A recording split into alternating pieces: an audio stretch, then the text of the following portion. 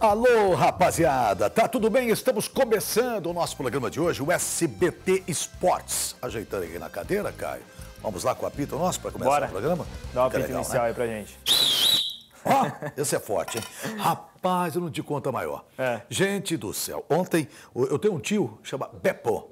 Tio Beppo. Manda um abraço pro tio Beppo aí. Abraço aí pro tio Beppo, Ah, pô. tio Beppo. Italianão daqueles... né? Palmeirense? Palmeirense doente. E ele vê a gente. Ontem ele estava vendo nosso programa e nós ficamos falando aqui, ah, para jogar com o São Lourenço aí não precisa de ninguém, o Palmeiras vai lá e ganha tal. Rapaz, esse tio me ligou. Bravo. Falou- Fala, ele fala meio arrastado. Falei, Dani, eu vou falar a verdade sobre o Che não manja nada. Aquele moço que tá com o Che lá, como chama? Foi o Caio, também não manja nada. Vocês falaram que o, o- pessoal ia ganhar lá. O jogo não precisava nem jogar, que o outro time estava todo danado. E o time ganhou de 1 a 0 do meu E Parmeira. foi, e foi. Que coisa, né, rapaz? Coisa. E, Mas ontem o jogo foi irreconhecível, assim, se você olhar é, o que o pessoal tava falando antes do jogo e até os momentos dos times, né? É. Ah, o resultado não reflete no momento, né? Foi a questão do jogo ali resolvido nos 90 minutos. Tá, foi... não sei o que, que nós vamos explicar para ele daqui É. a pouco. Falei, não, tio, a gente vai falar lá, deve ter acontecido qualquer coisa aí com esse time do senhor aí, com esse Palmeiras e tal. Ô, É. gente, olha, você pode mandar perguntas aqui para mim, para o Caio, da maneira que você quiser participar. Mas participe do programa, sempre é gostoso saber a sua opinião. Você é o nosso camisa 12, então vem para cá, tá bom? O nosso SBT Zap é o 18991437891. Ah, hoje a gente vai entregar também o livro do, do, do Rio Preto, os Isso, dois. os dois livros. Nós tivemos duas frases muito interessantes. Muito Sabia? legais. Muito legal, muito, Muito legal. Já já nós vamos falar. Bom, Caio, já falamos aqui, erramos o palpite. O Palmeiras não conseguiu vencer o São Lourenço. Acabou perdendo por 1 a 0 para a equipe do Papa, que eu acho que rezou um pouco mais do que o Filipão. E aí deu nisso, 1 a 0 para eles. Vamos ver. Em Buenos Aires, Moisés quase abriu o placar com uma bela bicicleta. Mas o único gol da partida foi marcado por Herrera, do San Lorenzo. Ele recebeu na lateral e avançou sozinho até bater de fora da área, sem chances para o goleiro Everton. Final: San Lorenzo 1, Palmeiras 0. Com o resultado, o Verdão perdeu a liderança do grupo F. Pois é, acabou perdendo a liderança, o Palmeiras perde a liderança, não é mais 100%. E a gente não esperava muito esse resultado. Mas você vê como é que é. Equipes argentinas, não adianta a gente subestimar. Não adianta você falar, ah, mas está lá em último lugar e coisa e tal. Não é bem assim. Equipe Exatamente. argentina, a gente tem que entender que tem garra, tem vontade, joga para valer. Então não tem esse negócio, você está embaixo, você quer ganhar. E o São Lourenço ontem mostrou isso, né, cara? E, e Libertadores é diferente, né, Nandes? A gente vê esses times aí que tem. É, é, que, tem, que são muito fortes em casa, o, o próprio São Lourenço no nível gasômetro é muito forte jogando lá, ah, impôs um jogo totalmente diferente do que vinha jogando no Campeonato Argentino, né? Então, o- mas eu senti falta ontem também do Palmeiras, a gente até falou aqui ontem, o Hernandes, como que o Palmeiras ia se comportar sem o Scarpa e sem o Ricardo Goulart, né? E a gente viu que ontem que realmente eles são essenciais para o time.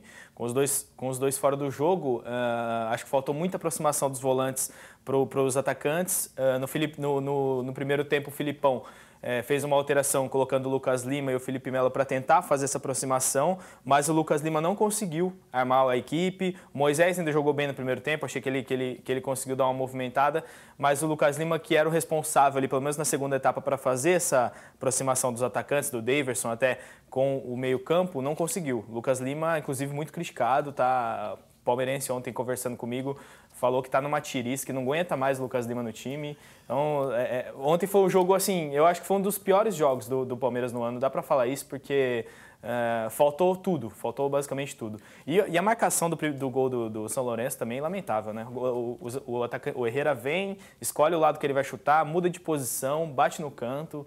Não, não entendi o que, que aconteceu ali. É, você tem razão. Eu acho que a ausência desses dois jogadores que estão comendo a bola, tanto o Scarpa como o Ricardo Goulart, são bons jogadores, né? São Muito bons, bons, jogadores. excelentes. Então, esses jogadores, sem dúvida, sem dúvida, esses jogadores fizeram uma, uma diferença muito grande para o jogo. Agora, realmente, o Lucas Lima, numa fase. No Santos ele foi bem, depois passou um ano sem jogar nada. Foi para o Palmeiras, eu não vi ele jogar todo aquele futebol que ele jogou no Santos, Não. ainda no Palmeiras. Ele e não ontem poderia ter sido um diferencial. É. E não foi, e não foi. Ele não recompõe, é muito difícil. É né, muito Lucas difícil. E hoje tem mais Libertadores. Vamos mostrar? Vamos mostrar aqui, vamos lá, vamos para a tela? Tá. Ah, tá pass... Ah, tá certo, tá, tá certo. no PP ali? Na verdade, não, já tá lá no rodapé. Ah, no tá rodapé, a você tá vendo lá, todo. tá vendo. Hoje tem Inter e River Plate, 19 e 15. Jogo em casa pro Inter, tem que ganhar. É. Atlético Mineiro e Zamora. Eu acho que o Atlético também joga Atlético em casa. precisa ganhar de todo jeito. De todo jeito. Perdeu duas já. É, agora o Cruzeiro enfrenta o Emelec, lá. Aí Jogão, já é hein? um jogão, Jogo já difícil, mais difícil. também. E o Flamengo pega o Penharol. É, Hã? também. Agora o Atlético ah, ah, venceu bem ontem, né? O Atlético Paranaense venceu o Boca de 3 a 3 0. a 0, Três gols do Marco. Ruben. É, é espetacular o resultado, assim. Tinha, tinha jogador falando que. é, desculpa, torcedor falando que foi a melhor partida do Atlético no ano. Foi, sim, Foi surreal. fantástico, fantástico. Muito legal. E ganhar do Boca não é para qualquer um, não, porque o Boca sempre tem um time de muito respeito. E Libertadores ainda, né? É, e com, na Libertadores, olha, é, não é fácil, de jeito nenhum. Bom, e hoje tem o Timão no na Copa do Brasil. É, hoje na Copa do Brasil. O Timão enfrenta o Ceará pelo jogo de volta da terceira fase da Copa do Brasil. O Timão venceu o jogo de ida por 3 a 1 quer dizer, tá bem tranquilo. E o Cleison deu entrevista no CT, falou sobre a preparação para o jogo e sobre a sua melhora de desempenho. E esse menino tá comendo a bola, rapaz, fez um gol aí contra o Santos, que eu nem gosto muito desse cara, mas pode colocar aí, vai.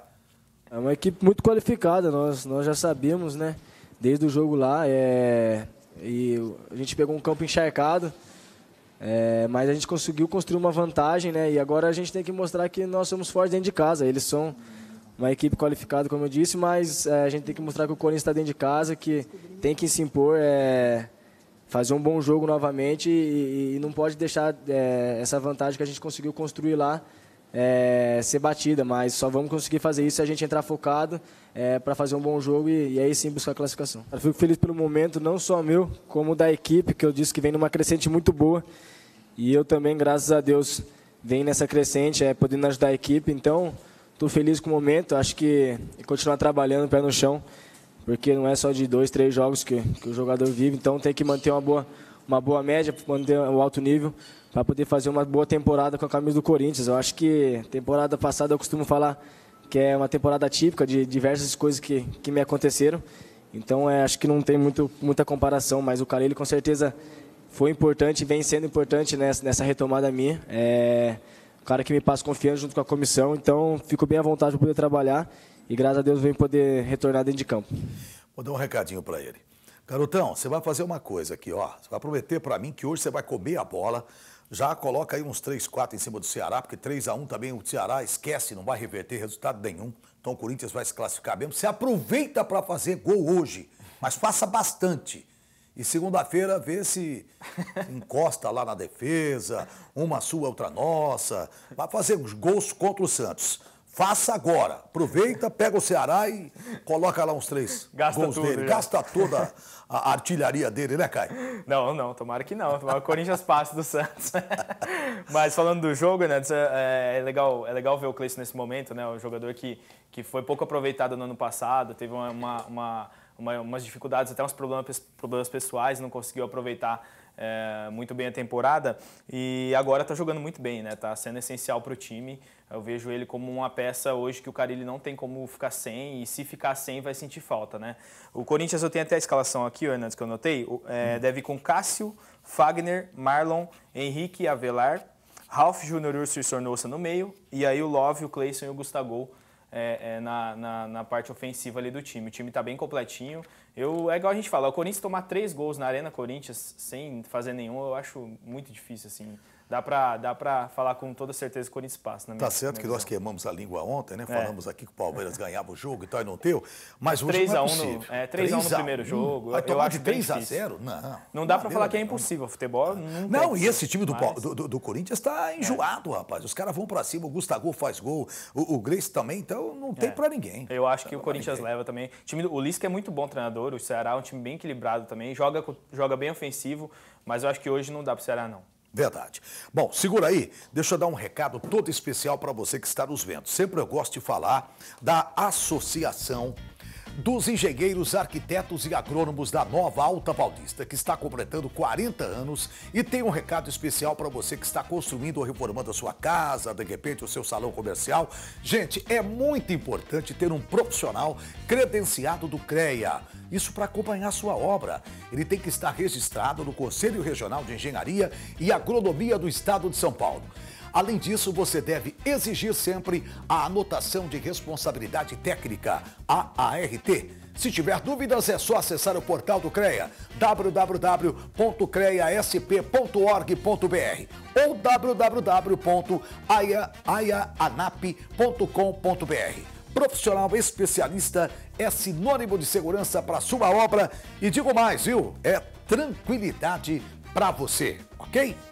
E agora vamos aqui para o telão. A gente já tem algumas pessoas participando aí. Deixa eu ver como é que tá. Opa. Vamos lá, vamos lá. O Rafael Fonseca é de Birigui. Ah, falei que iria secar o Parmeirinha. Deu certo. Estou vendo pelo celular. Quero ver a cara do Hernandes. Ontem ele falou que o Palmeiras ganhava fácil. Ótima tarde. ô, ô, ô, Ô, Rafael, vou falar a verdade para você, rapaz. Chega o meu tio que já me perturbou, agora vem você também para me perturbar, cara. Fazer o quê? A gente tentou, mas. Tem que falar. Não tem jeito, né? Estamos que botar uma desculpa agora, sabe por quê? Porque o Lucas Lima não jogou nada. Pronto, vou dar uma desculpinha aqui. O Renato é de Panorama. O Palmeiras perdeu, mas domingo vai ganhar de quatro do São Paulo. É, tá otimista, hein? Hã? Palmeirense, certeza. Rapaz, quatro do São Paulo. Olha o Califa bravo lá no ponto. O Califa deve estar bravo. tá lá, rapaz, uma fera. Renato, valeu. Luiz Carlos é de Araçatuba. Vai ser 2 a 0 pro Vozão. 2 a 0 Se fizer se fizer 2x0, vai para vai os pênaltis. Vai né? para os pênaltis, vai para os pênaltis, é, é verdade, é verdade. Eu acho muito difícil. eu também não acho fácil, não. Vamos lá então, gente. Ó, já já o sorteio. O sorteio não vai, a gente vai escolher as duas frases aqui, né, mais bonitas, para entregar esse livro do Milton Rodrigues e do Vinícius de Paula, todos os derbys de é, Rio Preto e América. Gil Catanossi, vi você aqui, Gil Catanossi. Jogava muito esse garoto aí. 1988, sei lá o quê.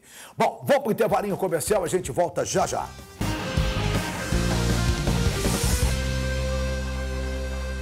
E estamos de volta com o nosso SBT Esporte.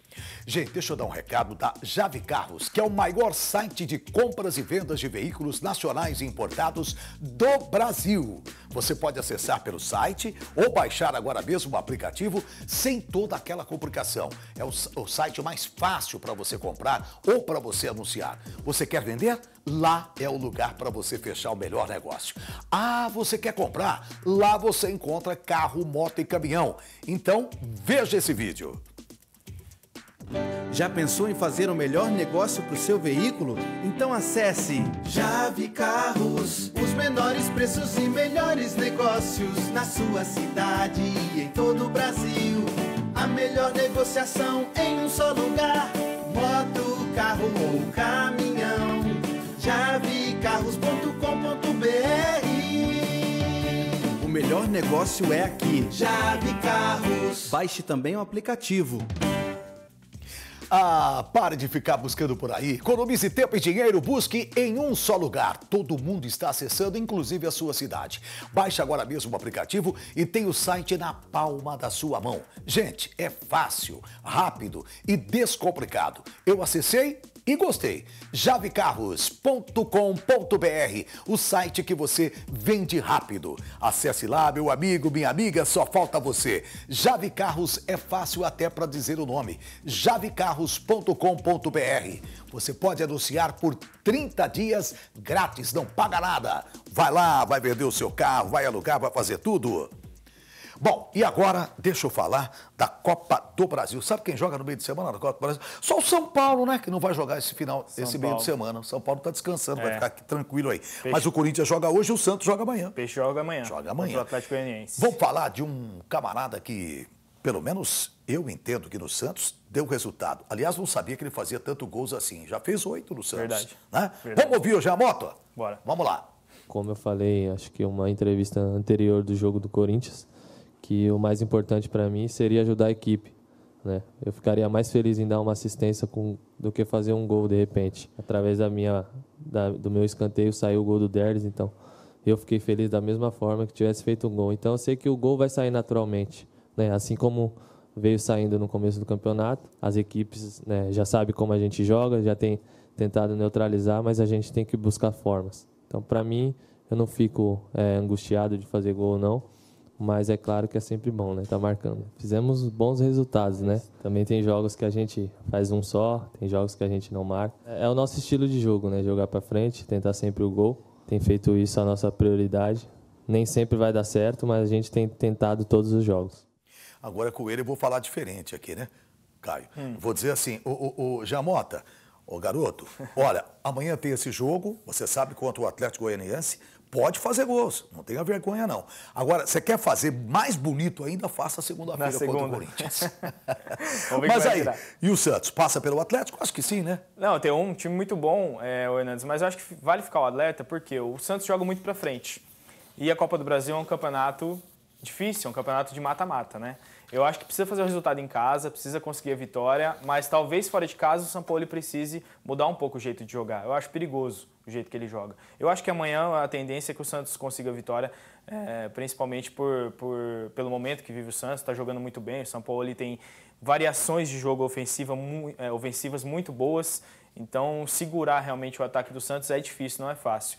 Mas precisa ter cuidado, precisa se alertar ao momento é, é, da Copa do Brasil que ela exige. Talvez ela exige que você jogue um pouquinho retrancado em alguns momentos, propondo o jogo menos, jogando no contra-ataque. Eu acho que o São Paulo precisa pensar com mais carinho no Santos dessa forma, pelo menos na Copa do Brasil. Vamos ver. É, você tem razão. E amanhã no revezamento dos goleiros, tem muita gente criticando o Vanderlei, que o Vanderlei não sabe jogar com os pés e coisa e tal, que ele vai fazer o revezamento, joga o Everton ah, amanhã. legal. Né? Porque na Copa do Brasil ele já disse, na Copa do Brasil ele joga Everton. Uhum. Então o Everton que vai jogar na Copa do Brasil. Time, até o Filipão fez, fez isso ano passado e times europeus fazem muito isso, Hernandes, de, de, de revezarem os goleiros é, de acordo com os campeonatos, né? Geralmente na Europa o time que joga a Champions League, a Liga dos Campeões, joga só um goleiro e o campeonato da, da do nacional joga outro goleiro. Outro goleiro. Eu verdade. acho que é interessante para manter a rotatividade do elenco e às vezes o cara, pô, você precisa entrar num jogo que é importante. Ele tá com o ritmo, né? É, você isso. falou do, do Sampaoli. Essa é legal, ó, para você que está em casa. O Jorge Sampaoli está quase que de férias na cidade de Santos. É verdade. Ele joga futebol na praia, vai trabalhar de bike, é. É, uma figura. O treinador convidou, você está vendo algumas imagens, algumas imagens aí, ele convidou umas crianças que costumam subir nas árvores ao lado do CT Rei Pelé, tentando espiar o treino, dando uma olhadinha para o treino. E ele trouxe a meninada lá para ver no banco de reservas. Olha só, Após o treino, duas vezes por semana, o Sampaoli conversa com as crianças e já foi visto até distribuindo bolas para essas crianças.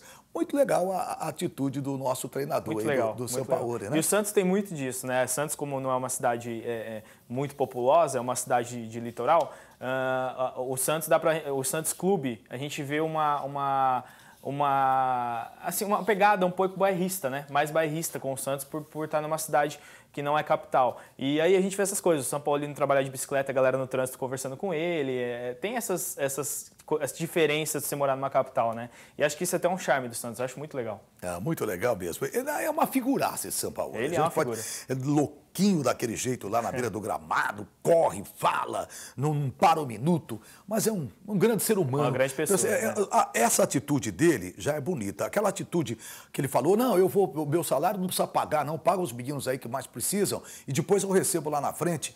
Olha, não, ele está ganhando moral, está ah, se engrandecendo como pessoa. É, já é um baita é. treinador e como pessoa está tá, tá demonstrando que ele é um grande cara mesmo. Muito fantástico, legal. fantástico. Quem é que vai subir para a primeira divisão do ano que vem? Vamos dar uma olhadinha aqui na tabela. As quartas de final da Série A2. Olha só, o Santo André, que já participou tanto da primeira divisão, o Rio Claro também, jogam hoje, 15 horas, no Bruno José Daniel, Santo André e Rio Claro. O Taubaté joga contra o Água Santa. Esse Água Santa tá um timaço, rapaz. É. Vai ser às 17 horas de hoje no Joaquinzão. E Uh, os dois jogos de amanhã, 15 de Piracicaba e Juventus, amanhã 19 15 no Barão de Serra Negra e Inter de Limeira e Portuguesa Santista do Major Levi Sobrinho, amanhã às 21h30. Quem será que chega lá, hein? Vamos ver, né? O Água Santa está com um time muito bom, está é, com uma campanha bem, bem bacana, mas também tem as tradições aí do 15 de Piracicaba, né? Que é um time é, que, que, tem um time muito encorpado, muita estrutura em Piracicaba. Até o André Cunha aqui de Aracatuba joga lá no, no time, manda um abraço para ele. É, Inter de Limeira também tá, é, um, é um time muito bom. Eu não sei, né? Eu acho que o Água Santa é, deve, deve conseguir o acesso, os outros aí, os outros jogos são, são bem complicados, vai ser bastante parelho. É, um time que a gente sabe que tem muita tradição é o Juventus, né? É. Não sei se o Juventus tem toda essa bola para ganhar a dois, mas é, é, é, um time forte, é um time que tem muita tradição. Mas aqui é jogão, e, 15 Juventus é, é jogaço. E a, e a, Portuguesa Santista também, que está lutando aí para tentar chegar à primeira divisão. Mas os clubes estão aí, vamos torcer, vamos torcer agora. Tá tudo certo com o Novo Horizontino agora? Ah, rapaz, é verdade. O Novo Horizontino é, representará a região da Série D no Campeonato Brasileiro. E eles apresentaram o novo treinador, treinador agora há pouco. A Joyce Cremonese acompanhou a coletiva e ela falou com o novo comandante. A gente vai ver aqui, Caio. Vai lá, Joyce! Pois é, e o Novo Horizontino acaba de anunciar, então, um novo técnico da equipe que deve seguir aí com o time, Moisés Egert, que estava no Mirassol, permaneceu bastante tempo na equipe. Moisés, o que te fez aceitar, então, esse, essa proposta né, do Novo Horizontino? Ah, vários foram os fatores. Né? O Novo Horizontino é um clube que eu já conheço, né? e esse tempo que a gente teve próximo aqui né, na região é, é, a gente criou uma, uma, amizade muito boa, né? Fomos adversários, mas a gente criou uma, uma, uma amizade muito boa, criou respeito, admiração. É, o, o, Novo Horizontino hoje é um clube sério, um clube ambicioso, um clube que, que, que, que, tem os mesmos sentimentos que eu tenho, os mesmos objetivos que eu tenho. É, é, chego nesse momento agora, né, junto com o Novo Horizontino, nesse intuito de a gente fazer uma grande campanha e conseguir esse acesso. Quando começa efetivamente o trabalho né, com o time, se já tem aí alguma previsão de novas contratações? É, começo a trabalhar nesse exato momento. Né? Chego, chego nesse dia de hoje, à tarde já converso com os, com, com, com os atletas que aí estão. É, a partir desse momento, muito trabalho, muita reunião. Né? No primeiro momento, aí a gente vai atrás dos atletas, existe uma base que vai permanecer. Né? Vamos fazer contratações pontuais, necessárias para aquilo que é a Série D, para aquilo que o clube disponibiliza né, em termos de contratações. Né? E aí a gente já começa a fazer ir para o campo né? e começa a colocar as convicções, maneiras de trabalhar, maneira.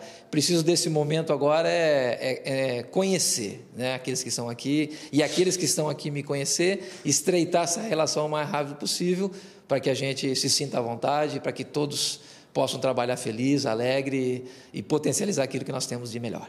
E já tem alguma estratégia para esse campeonato brasileiro da Série D, né, com o Novo Horizontino, esse campeonato que tem aí, né, uma fase difícil de mata-mata, logo ali nos primeiros, nos últimos meses, né? Qual é a estratégia? Tem sim, trabalho, né, é, treinamento, preparação, né. Num primeiro momento agora a gente, como falei agora, a gente vai atrás das contratações partir desse momento agora, dentro daquilo que eu conheço, quero, gosto e vejo né, sobre futebol, é, conscientizá-los daquilo que eu gosto. Existe, existe até a nossa estreia aí um tempo razoável, né, onde a gente tem que fazer dele de ideal, de preparação, de essência, de identidade, de comportamento né, fazer as contratações pontuais que tem que ser feita, ir para o campo, o que gera resultado trabalho, o que gera resultado é campo, nós não vamos abrir mão disso, ser simples, né, conseguir num primeiro momento essa classificação e depois né, gradativamente pensando no, em cada momento e cada circunstância. Tá ok, obrigada. E é isso aí, Carlos Hernandes, Caio. O técnico já disse que o objetivo é o acesso, viu? E nós vamos acompanhar o desempenho do Novo Horizontino com vocês. Legal, Joyce. Muito obrigado, Joyce, pela sua participação aqui com a gente. Dizer que o Moisés é o seguinte, quando ele saiu do Mirassol, ele falou, ah, vou dar uma descansadinha e coisa e tal, né? vou segurar um pouquinho. Mas você percebeu que não foi muito isso, né? Apareceu oportunidade. Tava... Ah, apareceu oportunidade, ele é. vai para o Novo Horizontino. Olha, sucesso para você, Moisés. Grande treinador, gosto muito dele. Eu muito tenho bom. certeza que ele vai é, ter um desempenho fantástico ah, aí. Sem dúvida. Junto e, com o Novo Horizontino. E tem um mês para trabalhar o time, né? O time estreia no dia 5 de maio contra o Itaboraí, na Série D. E ele vai ter um mês aí para trabalhar a equipe, para resolver reforços. Agora tem um período é, que é um pouco mais difícil, porque não tem aquela receita da TV, então tem que reformular uma parte do elenco. A gente não sabe ainda como vai funcionar. É, mas é um campeonato que exige muito, muito gasto com logística, se viaja muito, é cansativo, vai ter que formar um bom elenco, e, mas a gente acredita, como ele falou, o, o Novo Horizontino é um clube ambicioso, né? Então a gente concorda com isso e aposta que, que o Novo Horizontino consiga o acesso e um bom resultado. Tomara boa sorte aí para ele. Verdade. É, tem ainda completando a sua informação, tem o Ercílio Luz e o Tupi. E Minas Gerais. também, São os isso. dois outros clubes que estão aí nessa chave no Novo Horizontino. 60 e, eu anotei aqui, né? 68 times disputam a Série D. É bastante 68 time. times. Olha, é- é- tem futebol e tem jogos para Tem, tem bastante jogo. uma boa temporada aí, tudo isso, viu? Vamos conhecer agora os vencedores do, do, do Opa, livro, tá do, aqui dos já. derbys, Bora. do América e do Rio Preto. Vamos lá? Vamos para a tela aqui, deixa eu ver. A primeira, a- as frases né, que venceram. Vamos trazer aqui a frase para vocês. O Paulo Sérgio de Araçatuba. Paulo Sérgio de Araçatuba. Tá, o Paulo Sérgio, gente, ele mandou o segui- o seguinte, ó, entre todos os programas esportivos, seja do Sul ou do Norte, o primeiro em audiência é O SBT Esporte. Aí sim, Legal, né? muito legal. Ele fez Criativo aqui. demais. Legal, Paulo Sérgio, você vai esse livro que está na mão Vai do Caio levar aí, aqui, ó. você vai levar o- todos os débits, é aqui interessante, viu? Eu acabei lendo aí, é legal, Legal, muito, muito bom o livro. Vamos ver o outro? O nosso outro ganhador é o Murilo Magrini, que é de Birigui. Alô, Murilo! Futebol é amor, uma paixão. Para se manter sempre informado, SBT Esporte é a solução. Aí sim. Que, que é isso? Galera Dois- tá poeta, hein? Né? Dois pessoal tá- poetas. o pessoal tá poético demais. Rimando. Isso é Muito bom, bonito, muito bom, bonito. muito bom. Valeu, Murilo. Então, tá aí todos os derbys. Nós vamos entregar para esses dois meninos que com eles, participaram. a produção entra em contato com eles. Agora vamos para aqueles que mandaram aqui os seus, ah, eh, o SBT Zap aqui, as suas opiniões. O José de Parapuã. Aí na Alta Paulista. Gostei do programa. Me manda um abraço, Hernandes. Então, um abraço, José. Abração para você. Continua Abração. vendo a gente, viu? Que a gente precisa aumentar o salário aqui. Se não tiver audiência, não tem jeito. Então, ajuda a gente aí. Vamos lá, o Rafael. Hernandes, qual é o seu palpite para Santos e Corinthians? Esse camarada quer me apertar. Quer te tirar aí do muro. Poxa, vou falar a verdade para você, rapaz. Vou, vou contá-lo. O Santos não passa pelo Corinthians. Você acha que não passa? Não, não vamos classificar. Eu acho que o Corinthians classifica e o Santos não. Não, não sei, esse último jogo não me deixou com apetite para dizer para vocês que o Santos eh, reverte o jogo. Eu acho que a gente não reverte, acho que vai dar Corinthians.